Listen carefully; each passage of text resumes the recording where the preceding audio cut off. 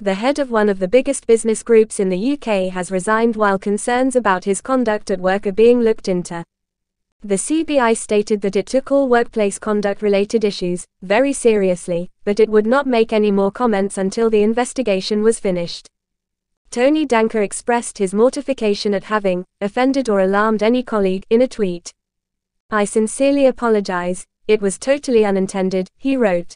However, the CBI claimed that it was made aware of further concerns regarding Tony Danker's conduct at work at the beginning of March.